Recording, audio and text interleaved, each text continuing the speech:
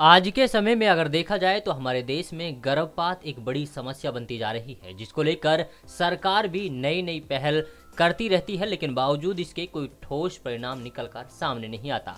जी हाँ अब दादरी से एक बड़ी खबर सामने आ रही है, जो बेहद चौंका देने वाली है। दरअसल, दादरी गेट स्थित एक दुकान पर तीन सौ में गर्भपात की आयुर्वेद मेडिसिन डिकाए, यानी कि डमी मरीजों को दी जा रही है। लेकिन जैसे ही इस खबर की सूचना स्वास्थ्य विभाग को मिली तो स्वास्थ्य विभाग ने बिना देरी किए हुए छापेमारी शुरू कर दी।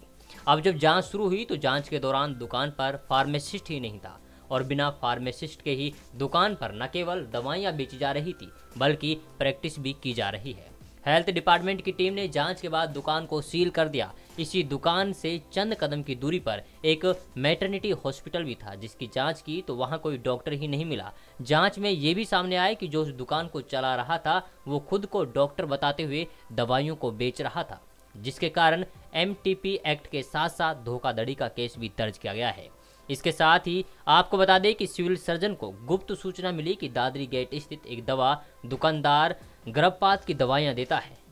उसका हॉस्पिटल भी है। इसके बाद डिकाय भेजा गया। डिकाय महिला ने खुद को दो माह की प्रेग्नेंट बताते हुए गर्भपात की दवा मांगी। तो दुकान पर मौजूद दुकानदार ने अलग अलग किट बनाकर दी। दवाइयाँ तीन सौ में दी गई। इसी दौरान deputy civil surgeon doctor Krishna Kumar की टीम ने छापा मारा। जाँच की तो दवाइयाँ आयुर्वेदिक थी। इसके बाद आयुर्वेद डिपार्टमेंट से डॉक्टर संदीप कुमार को बुलाया गया। जाँच में पाया गया कि दी गई आयुर्वेद दवाइयों से गर्भपात संभव है। इसके अलावा जाँच में पाया गया कि जो दुकानदार दवा बांटता रहा, उसके पास फार्मेसी का लाइसेंस ही नहीं है। आपकी जानकारी के लिए बता दें कि दुकान पर बिना लाइसेंस और अनुमति के दवाइयाँ बेची जा रही थी। रिकॉर्ड की भी जाँच की गई। बाद में इसकी शिकायत जैन चौक, चौकी में दी गई।